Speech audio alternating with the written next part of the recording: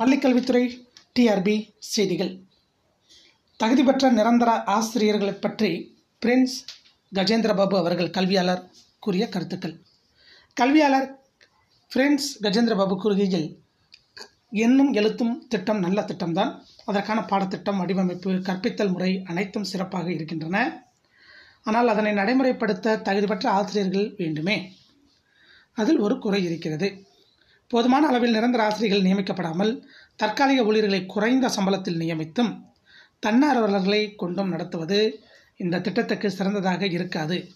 பள்ளிக்கூடத்துக்கு வெறும் கல்வி கற்றலுக்காக மட்டும் ஒரு மாணவன் வருவது இல்லை சமூக வாழ்க்கையையும் கற்றுக்கொள்வதற்காகவும் வருகிறான். அந்த சமூக வாழ்க்கையை கற்றுக் கொடுக்கும் ஒரு அங்கமாகத்தான் எண்ணும் எழுத்தம் திட்டம் இருக்கிறது.